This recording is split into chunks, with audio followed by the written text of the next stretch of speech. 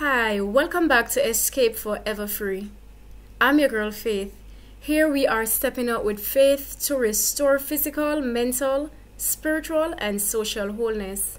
We are inviting you to join our team and be supported as we all work tediously and tirelessly without getting weary of well doing towards being fully surrendered to our Master. Now, here we have juicing guides, we have exercise guides, and this particular video is our one hour alone time kickstart devotional guide. It is a guide aimed at helping us to spend at least one hour with God every single day. So we encourage you to select your best sacrificial time for the day or for the week and then you turn up at that time watch this video then continue at the end of this video for one hour you and god alone. If you think this kind of program this kind of team support is something something that you can benefit from we invite you to come along with us subscribe and join this team this family. Again welcome to escape forever free so now we're going to go into our one hour alone time kickstart devotional guide starting with prayer our Kickstart devotional guide um, material is The Great Controversy. We are using the 1888 edition. We also use the King James Version of the Bible, so please get both of them and join us now. Whether it's your first or you are a return member subscriber or visitor join us now as we go into this time with god. Let us pray. Holy Father, we thank you for another opportunity that we can come together, Father, to support each other in such an important and even most um, detrimental um, of all of our choices, well, most important rather, of all of our choices that we need to make in this life as to what it is that our position is with you. So, Father, as we first of all seek to be good stewards of the life that you have lent us, we also, Father, seek to draw near to you so that we can become one with you, even as Jesus Christ, our Lord and King, is one with you. So, God Almighty, hear our prayers and answer us with mercy, we beg. And as we now go into the great controversy. Give us clarity of thought and understanding. And as we continue to seek to draw closer to you in these one hour alone time, may we truly, every single minute and any measurable second that we put effort out, be blessed. Take full control now, we pray. And Thank you for the Sabbath blessings that we would have experienced on Sabbath, um, Friday sunset to Saturday sunset. Be thou glorified in our lives, we pray, and feed us now, we pray, with our daily bread. Amen. All right, so we're going to go into our memory text for starters. Every week we commit a text to memory. This week's memory text comes to us from Revelation, Revelation 18 and verse 1 it says, And after these things I saw another angel come down from heaven, having great power, and the earth was lightened with his glory. Again, Revelation 18, verse 1. And after these things I saw another angel come down from heaven, having great power, and the earth was lightened with his glory. All right, so we pray that God will help us to commit this to memory and be able to recall it in due season, to glorify His name, and to edify souls, even our very own souls. All right, so we're now going to advance into the book. We are going to pick up at page 315.1 of the Great Controversy.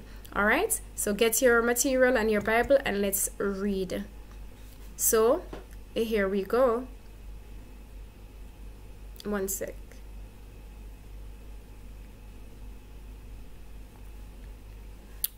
It is unto them that look for him that Christ is to appear the second time without, sorry, without sin unto salvation.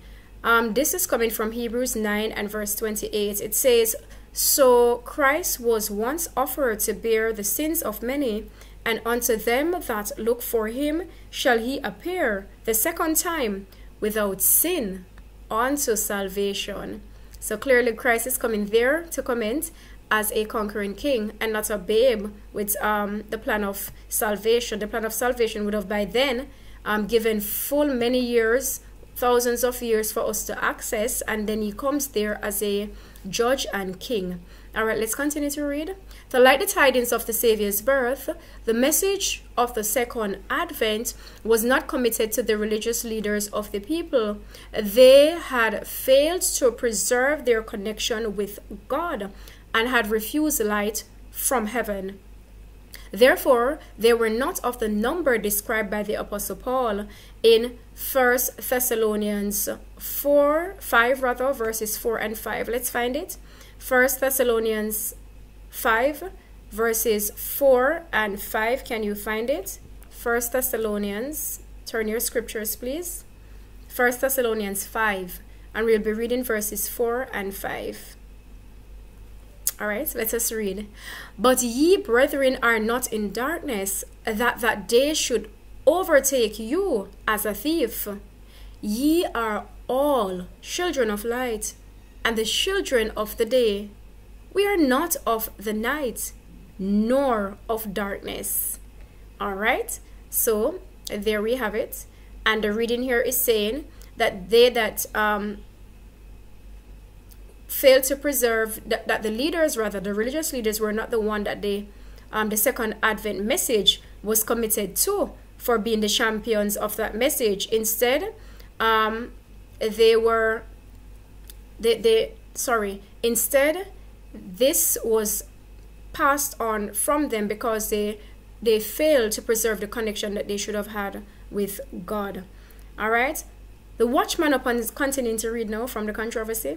The watchman upon the walls of Zion should have been the first to catch the tidings of the Saviour's advent, the first to lift their voices to proclaim him near, the first to warn the people to prepare for his coming. But they were not they sorry, but they were at ease, dreaming of peace and safety, while the people were asleep in their sins. Jesus saw his church like the barren fig tree covered with pretentious leaves, yet destitute of precious fruit.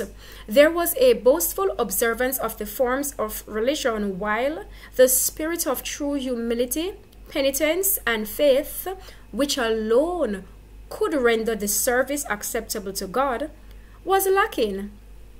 Instead of the graces of the Spirit, there were manifested pride, formalism, vainglory, selfishness, oppression, sorry, selfishness and oppression.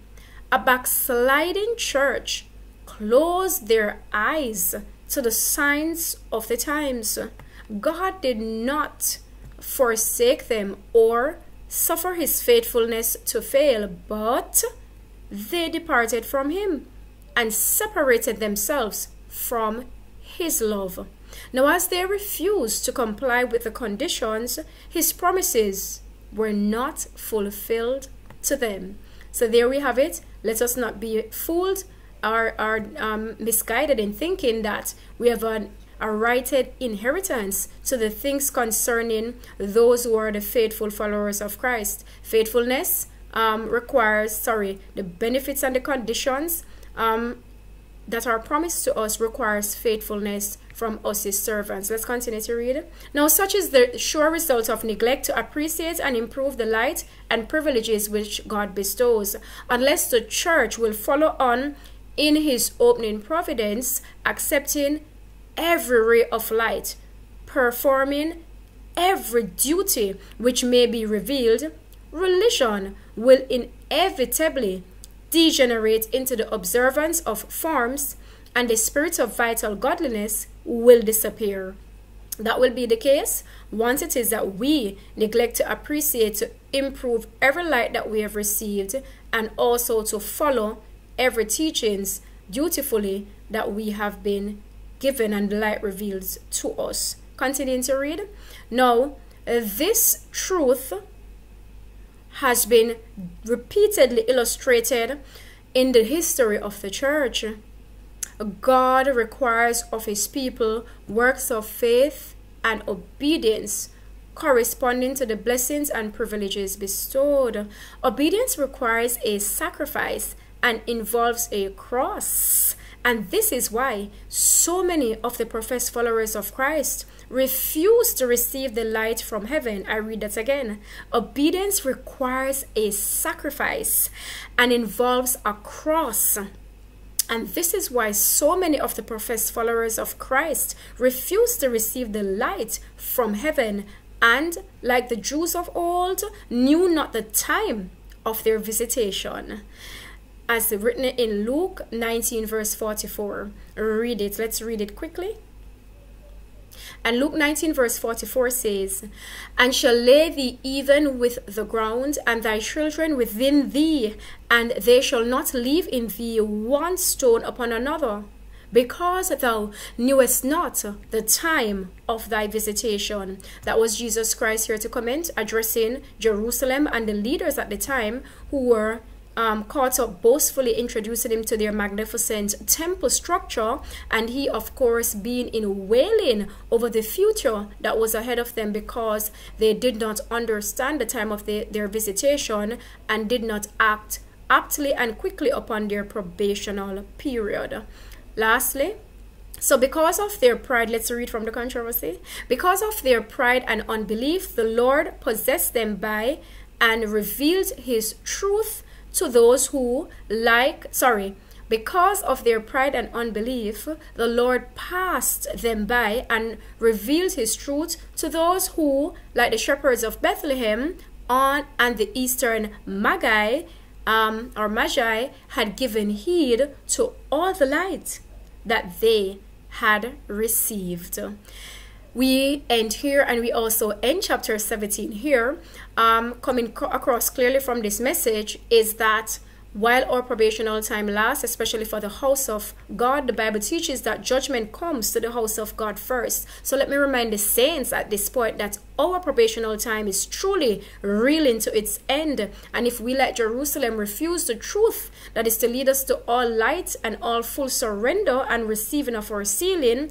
then like them, in the majority, we will be destroyed with the very temples that we worship. All right, our worship in whatever our situations is. In other words, all forms of godliness are in are in need of being converted entirely into true worship. May God help us as we all work out our salvation with fear and trembling. Let us go to the last singing of this hymn because it um, it was for the chapter and the chapter just ended. Um, let's just go to the last singing of stanza one from number 205, Gleams of the Golden Morning for this um, video, for this chapter. The golden morning is fast approaching, Jesus soon will come to take his faithful and happy children to our promised home. I want you to see the gleams of the golden morning piercing through our nights of gloom. Can you see the gleams of the golden morning? Well, they shall burst the tombs. Let us pray as we bring this chapter of the great controversy to a close. Holy and righteous Father, you have brought us through another chapter and we have learned so much from it. As we continue to review and reflect on what was revealed to us from these chapters and also from the scriptures that we read during the reading of this chapter, I beg and pray that we will respond to all the light that we would have received in it appropriately and genuinely. I pray, God, that we will not be afraid to search and receive further light as the opportunity or the light itself is present to us. Have mercy upon us as we each and every one work out our salvation with fear and trembling because indeed based on the signs of the times the door of probation for most of us is barely ajar if not for some of us like the house those from the household of faith is not already almost totally closed Save us in your kingdom, we beg. May all here who desire to receive that mercy and that blessing, may none of us be missing when you come. In Jesus' name, amen. Let the words of our mouths and the meditation of our hearts be known and always acceptable in thy sight, O Lord, our strength and our Redeemer. Please continue with God for one hour, you and Him alone, and continue to seek and search after truth and light. It is written in the blueprint, the Holy Scriptures. God bless you, and may we be saved through the blood of the Lamb and the obedience of our works.